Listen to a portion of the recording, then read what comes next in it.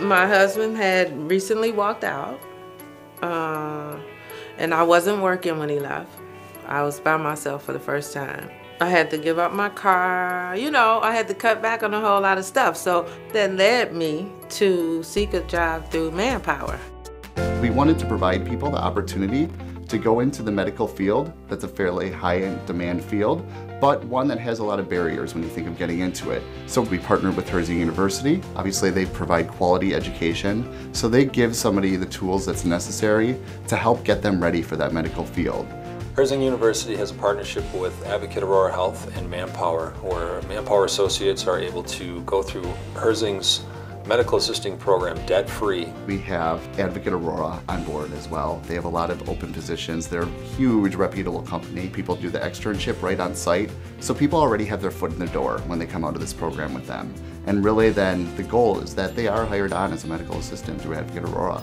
I got an email and they asked me, did I want to take do this program? They told me it was free. And I said, okay. Manpower will fund the education portion as long as somebody remains on assignment. They will not have to worry about the cost of tuition. So people don't incur any debt, they're able to work, and they're able to move through it, and they're able to still get that paycheck and still be able to support themselves while they're going through this program. I continue to work my job, continue to get paid every week through Manpower. The first part of the program I did strictly online. So I would go to work and I'll do my class stuff online. Towards the end, we had clinicals, drawing blood, learning how to give shots, sterilize, all the medical stuff. It's an investment from the student, but it's also one that's that's attainable because it is it's only a 10-month program, so that allows for that that full career change and really it's, a, it's kind of a short period of time.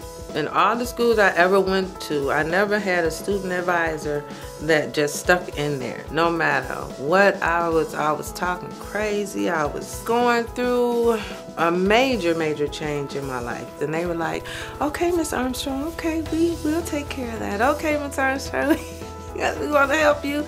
We want to make sure you get through the, I mean, they gave me everything. You know, other schools, they didn't do that. Tina's been really amazing. Couldn't be more proud of her because she's shown that determination.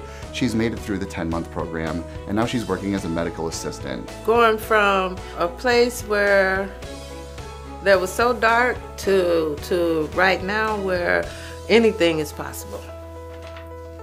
Seriously, that's what just happened to me in the last 10 months.